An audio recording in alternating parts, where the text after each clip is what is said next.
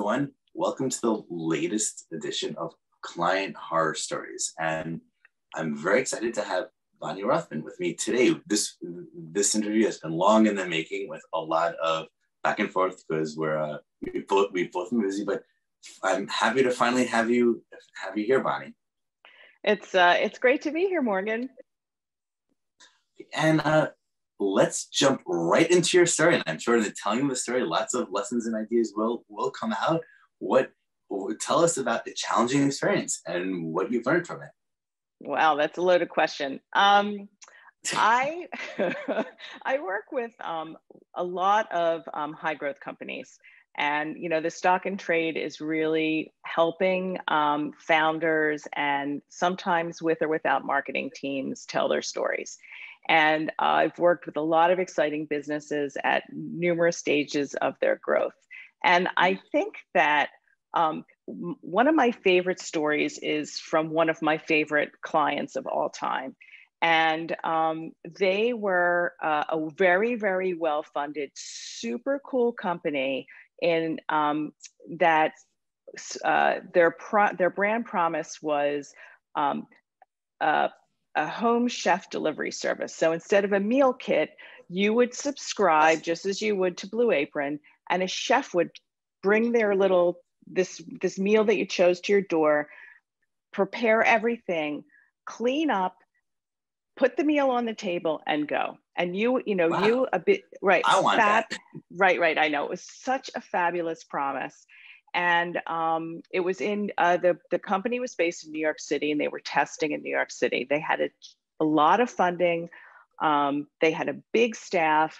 Uh, they had a marketing team and a fabulous CEO.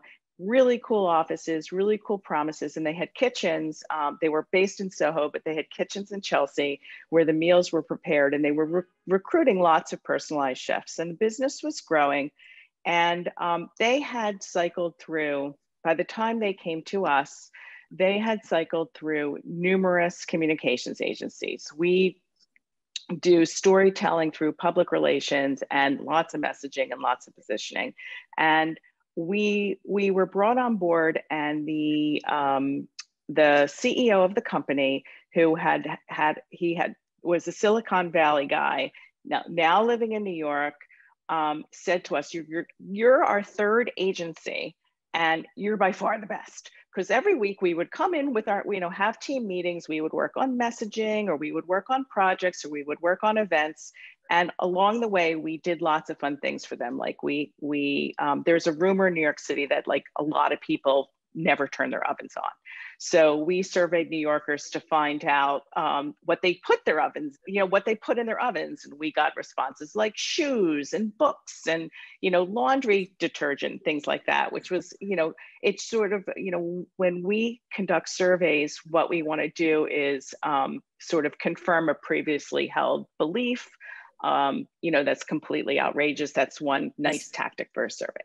So, um, so we did some really good work. We did the survey uh, and found that lots of people stored shoes in their ovens, men and women, surprisingly enough. And uh, we got a lot of nice press for them. That was just one of the many, the many um, activities that we undertook for them.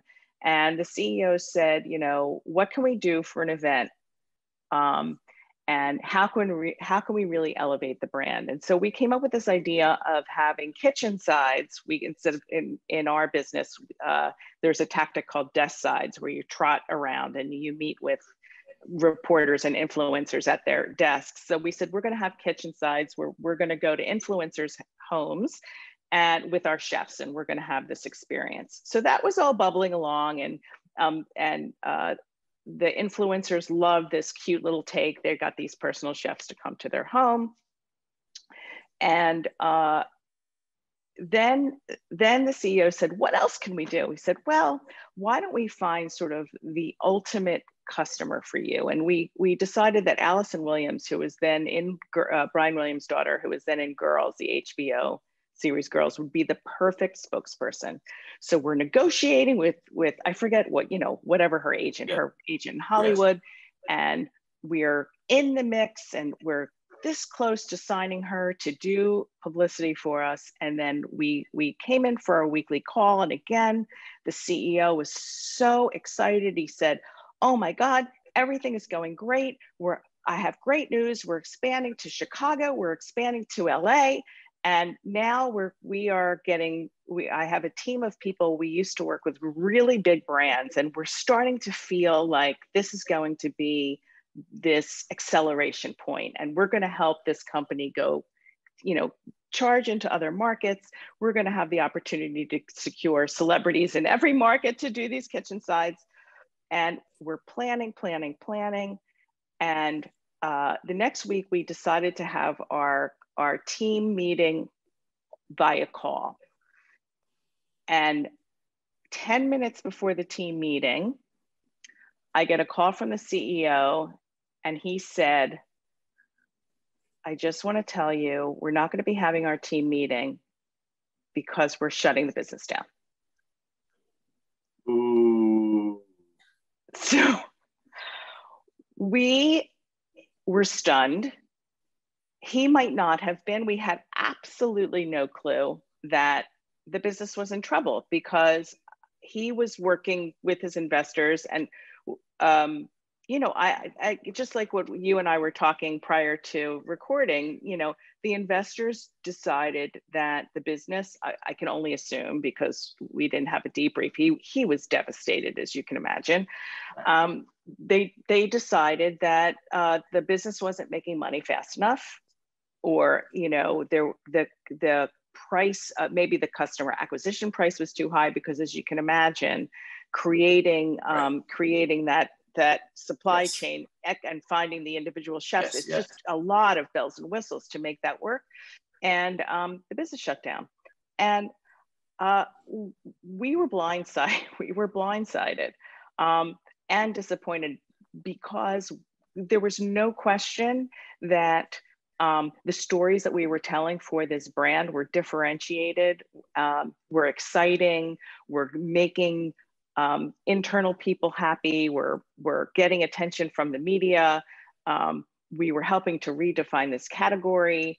Um, but at the end of the day, uh, communications can only take a company so far if other things within the company are broken. Um, so that was really disappointing because we were doing so well. Right. right. Um, so, so uh, yeah. So this is this this is a, an intense story. I like the build up. And by the way, I know you professionally do storytelling, and hearing this, I'm like, wow, she's telling the story in an exciting way. So it it makes me want to hire you.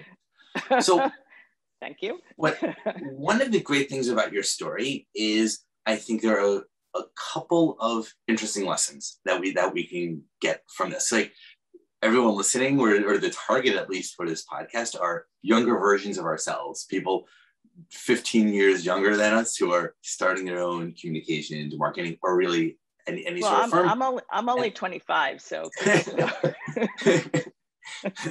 those, those 10 year olds are, uh, okay. are very, very, very precocious. um, that, um, that, that I think that, that there are a few great, great lessons um, from this. And and and one one lesson is it's so easy to really obsess on your one role, just marketing, user acquisition, communications, when really like you need to always have your pulse on on the on the on the core of the business uh, business itself. Like even if the CEO is devastated, he knew the financials, he knew what was happening, so it couldn't have been that much of a surprise to him. So one interesting challenge is how do you befriend the leadership of the company so that so that you can that you can get this deeper understanding of uh, um, of, of what's happening in order to prevent you yourself from being blindsided by this Oh, I agree. Um, you know, I felt that we had a really good rapport, um, which was, which was why I I, I wonder uh, I wonder if um, he was blindsided because he shared, you know, in that particular instance, he wasn't a liar. Um, right. He was a business guy. So it, it, the con, the sort of the the timing of week you know, week A, we're expanding to Chicago and LA, and week B, we're shutting our doors. Something happened.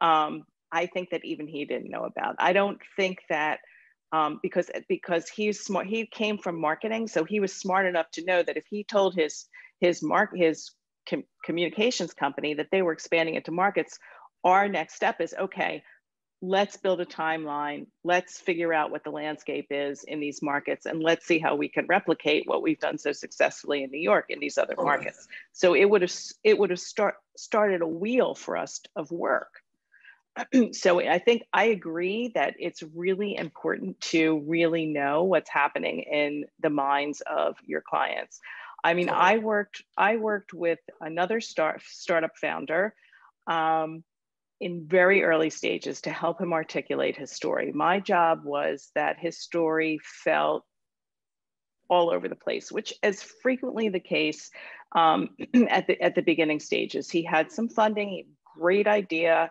He had great boosters and great supporters, and um, so I helped him get his story started. It was a it's a, a workplace development company that um, gets uh, people into sort of these middle income jobs, like working on the factory floor in robot repair or um, auto mechanics using um, virtual reality to train so that um, there's there's it's a lot safer they get on it, instant feedback i mean it's a really brilliant concept and and this is a guy with a vision who had success in another area of ed tech so it was fabulous um, fabulous promise, fabulous founder.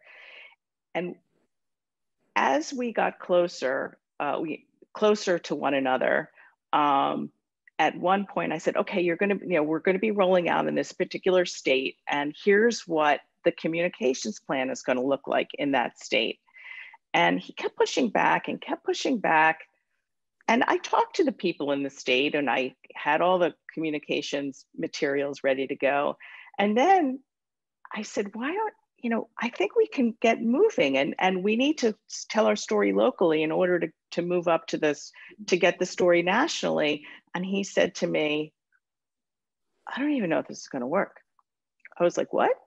Like, I had no idea. No, as it turned out, as it turned out, within like two months, it was working. He got more funding. He got you know he used the story. He got well established. He the, the company was named one of fast company's most innovative this year. You know they're they're doing great but it's what it's it's what i've seen when i work very very closely with founders. They have this moment um, which i call founder flounder and um, i love it and they have this deer in the headlights like, oh my God, is this going to work? And am I ready? And um, since I've been there so many times, I'm I usually can um, I usually have a sense of when it's going to work. Like in the in the in the case of the workplace development guy, there was like no question that this was just he had had like a bad, maybe had a bad meeting the day before. Like there could be all sorts of reasons for that doubt. Um, but it, it took my breath away a little bit in that particular case because he seemed so confident.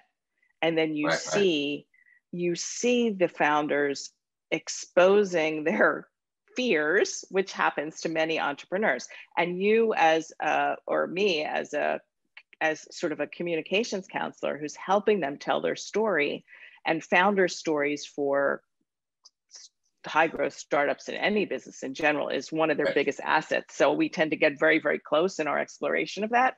Um, I have to, I, I find myself having to be prepared for that, oh shit, is this not going to work moment? so, so, and to help them talk them out of it. Oh yeah, I, uh, I love that. I love your phrase, the founder flounder. It reminds me in the, of the Joseph Campbell arc of the hero that like right before the big win at the end, there's always like the dragon reappears just when you think the dragon is dead. It's that correct before the big moment that scary thing that happens and it's largely internal. I um uh, love it and And I think part of the trick here is for them to open up to you emotionally, you need a level of trust, a level of time together, personal rapport, personal connection. And, and there's no button you can press to make so, to make someone be able to open up emotion with you. It's just the hard work of relationship building. It really, really is. And um, and I think that it's it's as a service provider, which we are, who we of course like we all say that, oh, we are we we work as your in-house team, we're some of your partners. But at the end of the day, we're we're an agency. So it's you want to be able to to get there really fast. Um, you you want to be able to build that trust really fast um, you know, and and I've had that with clients. I've had, you know, I've had the CEO hotline on Sunday afternoons. One of my clients, like it was like Sunday afternoon, three thirty. Oh, here's the CEO calling me again. You know, with something that had nothing to do with communication, yeah. but some, you know, it, it, it, maybe it was some internal questioning that he was having, you know, or or something that that was do- dogging him on the weekend. But but you know, I sort of know that I've gotten to that place. Um, not that I encourage my clients to call me at 3:30 on a Sunday afternoon. I would much prefer I would much prefer to have my Sunday afternoons to myself with, you know, and them too. But um, but it, it, it can happen. Um, and some some clients are will not allow themselves to be that vulnerable. And um, I think you have to I think you have to say that that's okay. Um, yet, as a communications counselor, we we get really intimate down to um, telling our clients what to wear. You know, if there's food in their teeth, like because we're you know we're helping them with their presentations. Like you, it's this very a very kind of intimate role. Um, you know, working in working in communications and helping someone tell their story. Agreed.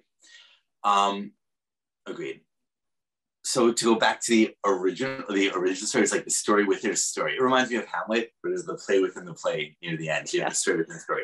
To go back to the original story so first lesson that we can get from this is we have to build this trusted personal relationship so they so they can um, let you know and understand what's really happening so these things don't blindside you. A second lesson from your original story is that things can change really really fast. Right. and that's something I didn't appreciate 15 years ago. But uh, but things are going amazingly, and then it's dead the next day, and sometimes the exact opposite uh, as well. Yes, I I think that um, even more so today than 15 years ago, and particularly with COVID. Uh, I yes. think the lesson that we can all pull out of COVID is that you cannot, we, we couldn't stay the course. Who could? Um, and you have to be prepared strategically, emotionally to change gears. And when that rapid change happens, there's a lot of there's a lot of things are swirling. There's a lot of confusion and doubt.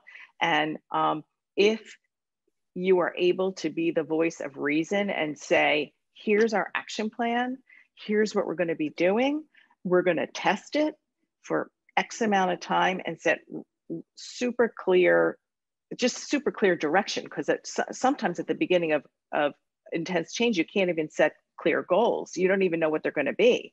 You just, uh, particularly after COVID, you know, during COVID, you, you know, you, you can ha- have a sense that this change will help. Um, but you got to be ready to step in and sort of be cool, calm, and collected. Um, my three my 3:30 Sunday calling client, we had that situation during COVID where we had one uh, strategy in place for them, which was laying heavily to communicate. Um, they did very high levels. This was an organization. They did very interesting surveys. The surveys became instantly irrelevant the minute that COVID hit. So we turned to the marketing team and the CEO and said, okay, we're going to double down on thought leadership for you. Um, we're going to get your, we're going to level up your positioning where you're going to tell a different kind of a story where you become more of a leader and a guide. Um, and let's see if it works. And it did. Uh, we wound up uh, having him, well, a Ghost wrote for him 15 stories. Um, he, he, wound up in the, in the he wound up, you know, in the New York Times, in the Wall Street Journal, um, you know, and on lots of TV shows. Uh, we had no idea. Uh, I, you know, that that this that the well, we we sense that the strategy, right. the, in the tactics, tactically, we knew it could work, but in terms of would what he's he was talking about resonate, things were in flux, so we had no idea. But we just kept iterating um, and trying to create an, a level of confidence. Yeah, that, that makes sense. A third, a third lesson from your uh, from your original story uh, as well is this. I think when there's you're really excited about a project or a client, there's this instinct to just like obsess over it and do only that. And from the business point of view, for any agent agency of any sort, it's always really risky to have like the one well client and and and when it's something you're really excited about and it's going going well you just it's hard to stop yourself from uh, from from jump from from jumping all in. But cases like this are also a good reminder say say hey when all your eggs are in one client basket that's that's that's a red flag. Yeah absolutely. I um i completely agree that you you can have you know x percent of your business coming from one client because you're you'll be you'll be vulnerable.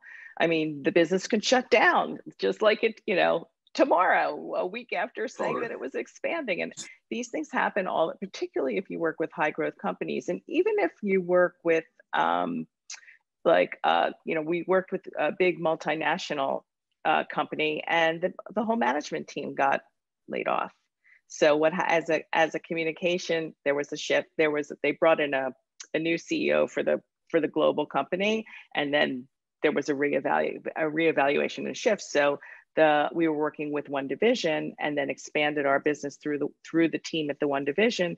And the president and the CMO, both of whom we were working hand in glove with, both got laid off. So so you know because they wanted to bring in new people, and that's frequently a reason why your if you're in a service business your business can be in jeopardy.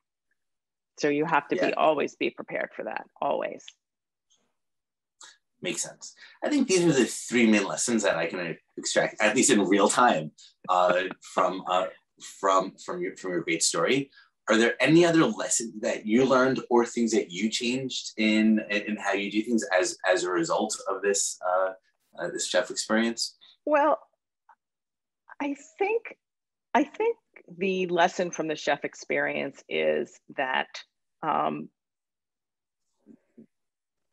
at the end of the day, things well I, there's there's a saying in our business that like the minute you get a client is the is the minute that you're going to start to lose them and you could lose them through a variety of ways. So uh, our take is to really be able to say at the no matter what happens that we did a great job.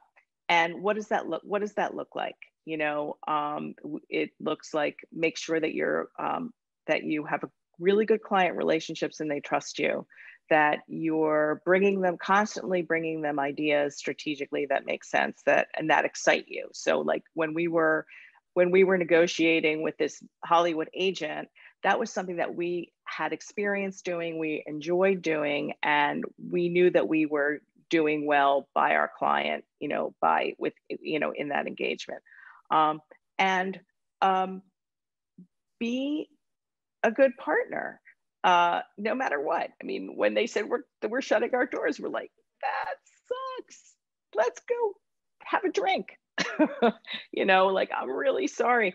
Um, and uh, sort of so that you can walk or walk away, even even if a business is floundering, walk away knowing that uh, you held up your end of your agreement uh, in a way that made you feel good about the work that you were delivering. I uh, I I think that is a that is a great lesson and uh, and a positive and optimistic way to uh, to to end today's story. And um, a simpler reframing that or a, variation of the point is you need to always turn lemons into lemonade So um, so even so even if it's failing, hey, we can still have the have the relationship and um and always and always have our integrity. And as a result, hey, like the founder will have another company in a few years and you, and you did a great job. So so maybe this one didn't work, but in five years he gives you a call for something else. Correct. I mean, it's um, I, I think it's all about building that relationship and that trust, and then um, and not and, and delivering on your promise, you know, as best as you can.